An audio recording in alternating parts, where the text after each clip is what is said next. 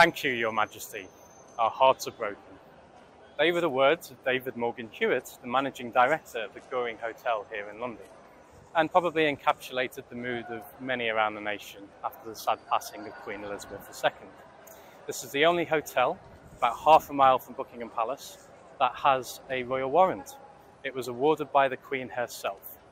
We will be going over to Buckingham Palace to find out more, but this hotel would have been filled with royalty since 1910. It was a firm favourite, particularly during the coronation of her father, George VI, and then during her own coronation some years later.